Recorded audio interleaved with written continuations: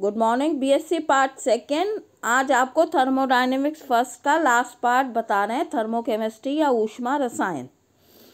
वे रासायनिक अभिक्रियाएँ जिसमें ऊष्मा मुक्त होती है, एक्सोथर्मिक या ऊष्मा शेपी अभिक्रियाएँ कहलाती हैं। तथा वह अभिक्रियाएँ जिसमें ऊष्मा परिपार्श्विक सराउंडिंग से अवशोषित होती है, एंडोथर्मिक या ऊष्मा शोषी अभिक्रियाएँ कहलाती हैं।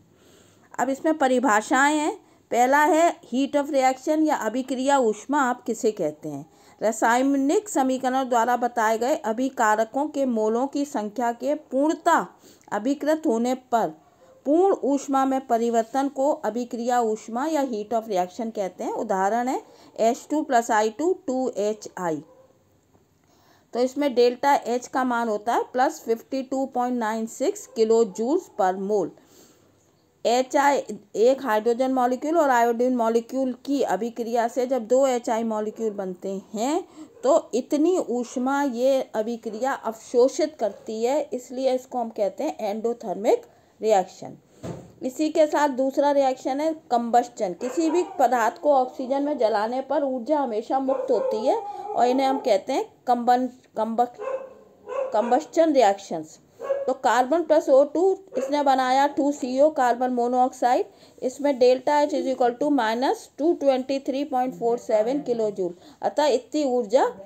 बाहर निकलती है। यदि यही अभिक्रियाएँ हम दो सौ अट्ठानवे पॉइंट एक पाँच कैलविन ताप और एक वायुमंडलीय दाब पर करें तो इसको हम कहते हैं मानक। अभिक्रिया की अभिक्रिया ऊष्मा मानक अभिक्रिया ऊष्मा कहलाती है। तो सी प्लस ओ टू से यदि हम पूरी ऑक्सीजन देते हैं तो कार्बन डाइऑक्साइड बनती है और इसमें डेल्टा एच होता है minus three ninety five point three nine kilo joules पर मोल तो ये दो तरीके की है exothermic endothermic heat of reaction अब नेक्स्ट है ताप का प्रभाव और ये इंपॉर्टेंट है किचऑफ के समीकरण.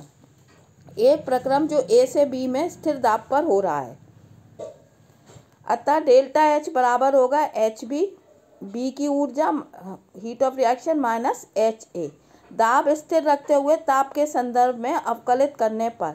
तो delta delta H D delta T at constant pressure is equal to D H B D T at constant pressure minus D H A बटा D T at constant pressure यह है समीकरण एक। हम जानते हैं डी एच बटा D T at constant pressure को हम कहते हैं सी पी तो D H D delta H B divided del D H B divided by delta T P is equal to होता है सी पी बी मतलब B की ऊष्मा धारिता और डी एच ए बटा D T at constant pressure ये होता है परिभाषा के अनुसार सी पी ए ए की ऊष्मा, स्थिर दाब पर ऊष्मा धारिता। अतः डेल्टा एच बटा delta T P is equal to किसके होगा? इसकी जगह हम रखेंगे सी सी पी ब्रैकेट में B minus C P minus A तो delta H divided by delta T at constant pressure is equal to delta C P delta C P स्थिर दाब पर उत्पादों तथा विकारकों की ऊष्मा धारिताओं का अंतर है। यह समीकरण किरचॉफ समीकरण कहलाता है। इसी प्रकार यदि हम स्थिर आयतन पर होने वाली अभिक्रियाओं के लिए डेल्टा एच के स्थान पर हम डेल्टा ई आंतरिक ऊर्जा परिवर्तन का पद यूज़ करते हैं तथा सी पी के स्थान पर सी वी को हम प्रतिस्थापित करते हैं तो ये समीकरण हो जाती है डेल्टा ई बटा delta T S constant volume is equal to delta C V यह किचऑफ समीकरण का दूसरा रूप है। अब इसकी नेक्स्ट परिभाषा है हीट ऑफ़ कंबशन या दहन ऊष्मा। आपको बताया है कोई भी पदार्थ कार्बन हो या कोई भी पदार्थ को यदि हम ऑक्सी ऑक्सीजन की उपस्थिति में दहन करते हैं तो उसको हम कहते हैं दहन ऊष्मा। यदि एक मोल किसी भी पदार्थ को, ठीक है टू नाइन्टी एट कैलविन और एक वायुमंडलीय दाब पर है ना? पूर्णता अभिकृत करते हैं तो उत्पन्न हुई ऊष्मा को हम कहते हैं मानक दहन ऊष्मा। यहाँ दो उदाहरण दिए हैं सी प्लस ओ टू का, जिसमें कि डेल्टा एच है minus three ninety five point three nine kilo juice पर मोल और दूसरा दिया है आपको C two S six ethane का कम्बस्चन जिसमें कि जो हीट ऑफ़ रिएक्शन है या जो ऊष्मा बाहर निकलती है, वो होती है minus one five five nine point eight seven kilo juice पर मोल अब नेक्स्ट है संभवन ऊष्मा हीट ऑफ़ फॉर्मेशन इसकी क्या परिभाषा है?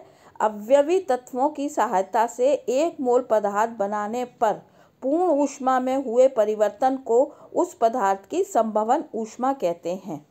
298.15 केल्विन टेम्परेचर और एक वायुमंडलीय दाब पर मानक संभवन ऊष्मा कहते हैं। तो H2 plus half O two से हमने अगर एक मॉलिक्यूल एच टू ओ या वन मोल ऑफ़ वाटर बनाया तो जो ऊष्मा परिवर्तन होता है, उसे हम कहते हैं संभवन ऊष्मा। हीट ऑफ़ फॉर्मेशन का अर्थ है किसी भी पदार्थ का बनाना, एक मोल बनाना।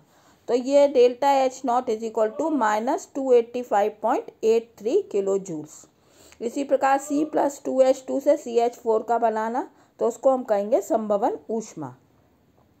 नेक्स्ट डेफिनेशन है उदासीनीकरण की ऊष्मा।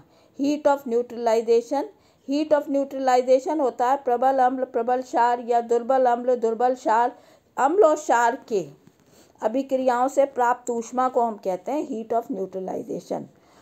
इसकी परिभाषा है प्रबल अम्ल के एक ग्राम तुल्यांकी भार को क्षार, प्रबल क्षार के एक ग्राम तुल्यांकी भार से पूर्ण उदासीन करने पर पूर्ण ऊष्मा में जो परिवर्तन होता है, उसे हम कहते हैं उदासीनीकरण की ऊष्मा। उदाहरण S C L one N S C L one N N U H ये बनता है N A C L plus water और इसमें जो डेल्टा एच होता है, वो होता है तेरह पॉइंट सात किलो कैलोरी पर मोल। इसको हम कहते हैं उदासीनीकरण की ऊष्मा। अब लास्ट बता रहे हैं, ऊष्मा रसायन के नियम। इसमें एक ही नियम बहुत इंपॉर्टेंट है, जो न्यूमेरिकल्स में काम आता है, वो हैस का स्थिर ऊष्मा संकलन नियम। Hess is law of constant heat summation तो इसका अर्थ है, यदि कोई भी रासायनिक अभिक्रिया एक पद में हो या एक से अधिक पदों में हो, पर कुल ऊष्मा परिवर्तन हमेशा समान होता है। जैसे कि delta H is equal to delta H one plus delta H two plus delta H three उदाहरण दिया हुआ है यहाँ। कार्बन को अगर हम पूरा अधिक ऑक्सीजन मिल जाती है, पूरी ऑक्सीजन मिल जाती है और कार्बन डाइऑक्साइड में अभिकृत होता है तो डेल्टा एच का माइनस मान होता है, minus three ninety three point five seven kilo joule परंतु यदि हम इसको दो पदों में संपन्न कराते हैं C plus half two carbon monoxide का बनना तो डेल्टा एच का मान होता है एक सौ दस point five three kilo joules और फिर कार्बन मोनोऑक्साइड को हम थोड़ी और ऑक्सीजन दे के इसको कार्बन डाइऑक्साइड में परिवर्तित करते हैं तो डेल्टा एच का मान होता है minus two eighty two point nine eight kilo joules. अतः पूरा इन दोनों का योग करें पद वन और पद टू का तो C plus O two is equal to C O two और डेल्टा एच जो होता है वो होता है minus three ninety three point five one kilo joules. तो हैस के नियम के अनुसार रासायनिक अभिक्रिया एक पद में संपन्न हो, तब भी हीट ऑफ़ रिएक्शन समान होती है और यदि एक से अधिक पदों में भी संपन्न होती है तो उनका कुल योग जो होता है वो जो पूर्ण अभिक्रिया के समान ही होता है, इसको हम कहते हैं हैस का नियम। Thank you